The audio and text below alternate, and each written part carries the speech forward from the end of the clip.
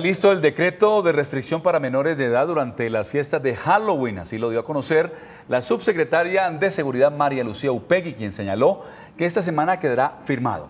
Esta medida funcionará del 10 de la noche a las 5 de la mañana y aplica del 25 al 27 de octubre y del 1 al 4 de noviembre.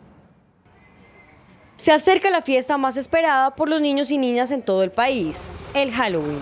Por sus disfraces atrae la atención de todas las personas. Sin embargo, en Bogotá la alcaldía tiene definida una estrategia para preservar la seguridad de los más pequeños. Las autoridades hicieron un llamado a los padres de familia para que estén muy pendientes de sus hijos.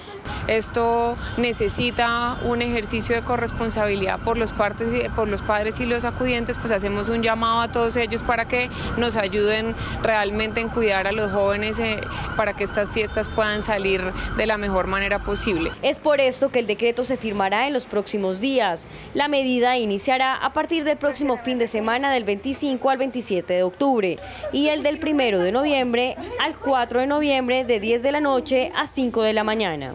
La idea con esta, con esta medida es proteger a los jóvenes, es tener dispositivos tanto de Policía de Infancia y Adolescencia, ICBF, Defensoría, etcétera, para poder estar eh, ayudando y acompañando a nuestros jóvenes y a nuestros padres para que tengamos un Halloween en paz.